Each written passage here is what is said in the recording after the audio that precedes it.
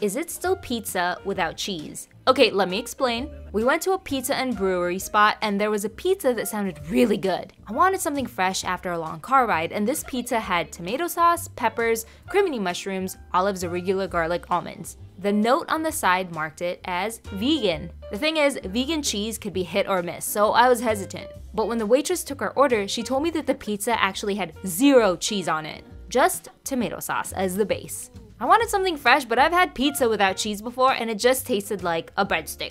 So I requested to add their aged mozzarella on this vegan pizza. Blasphemy? Maybe. But it was delicious and I was happy. So, what do you think?